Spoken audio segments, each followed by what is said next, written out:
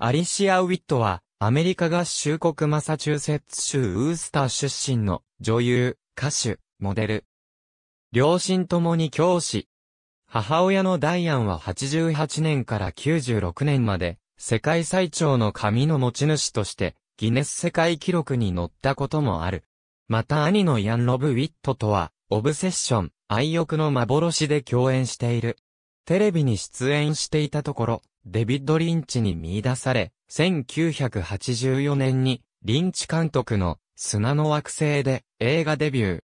その後しばらくは学業に専念するが、11歳の時には天才ピアニストとして LA タイムズ紙に紹介され、以降ピアノ演奏に加え、シンガーソングライターとしても活動している。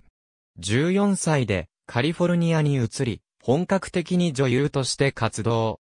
1990年には TV ドラマツインピークスのリンチが監督した第9話にドナ・ヘイワードの妹がアステン役で出演。エンドクレジット部分では、ピアノも吹き替えなしで弾いている。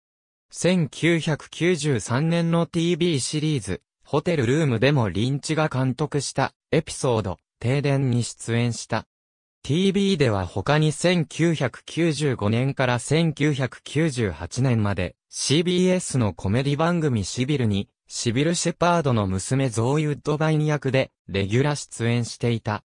1995年の映画、火の当たる教室でクラリネット演奏をマスターする、女子高生、ガートルード役で注目され、1998年には、ホラー映画、ルールのナタリー役で、初の主役を演じる。2004年には、短編映画ガールズランチで、脚本、制作も担当。